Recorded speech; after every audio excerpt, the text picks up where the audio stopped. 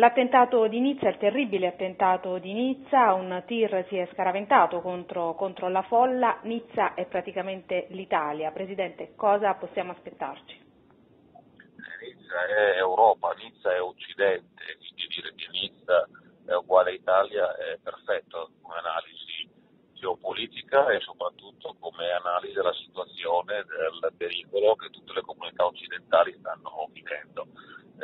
quindi anche il nostro paese ed è per questo che è necessario implementare tutte quelle operazioni già in essere di sicurezza preventiva che il nostro paese sta compiendo. C'è un rischio eh, concreto anche qui in Italia? Tutti i paesi occidentali sono nel mirino, quindi anche l'Italia non possiamo dire che anche noi siamo diversi dagli altri, sicuramente per noi c'è eh, un'attività che viene svolta a monte dell'intelligence e base delle forze delle procure che sta dando buoni risultati, eh, dobbiamo incrementare lo sforzo in quella direzione, non possiamo però dire che siamo sicuri che non accadrà sicuramente nulla, eh, un rischio esiste, c'è una possibilità che, che qualcosa possa accadere, dobbiamo lavorare perché la possibilità non diventi una probabilità e assolutamente diventi una cosa concreta. La domanda che in questi momenti in tanti si fanno è cosa si può fare? Fa, diciamo così, si richiama questo lavoro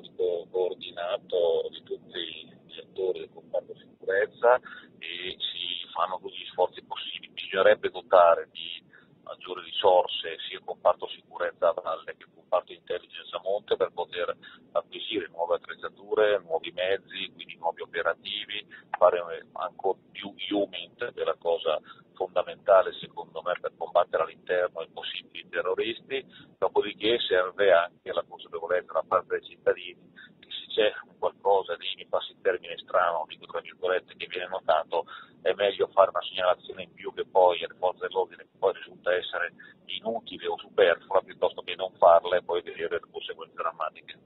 Secondo lei bisogna cedere un po' di libertà per un po' di sicurezza in più?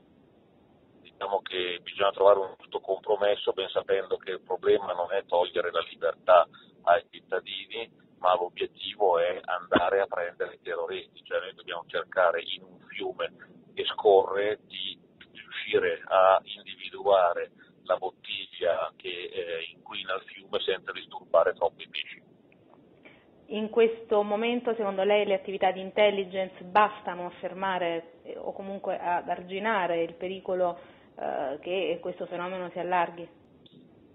Noi dobbiamo renderci conto che la nostra intelligence fino ad oggi ha lavorato bene e ha dato dei risultati che hanno permesso di eh, evitare che qualcosa accadesse nel nostro paese, però altrettanto dobbiamo renderci conto che eh, siccome la, il numero dei soggetti aumenta, quelli da controllare che sono problematici, il numero dei luoghi da controllare aumenta quotidianamente, dobbiamo di conseguenza anche noi incrementare le risorse, come dicevo prima, per mettere a disposizione più uomini, più mezzi, più attrezzature per questa che è una guerra che vede in gioco la posta della nostra libertà, del nostro futuro. Questa è una richiesta ufficiale che lei fa al governo?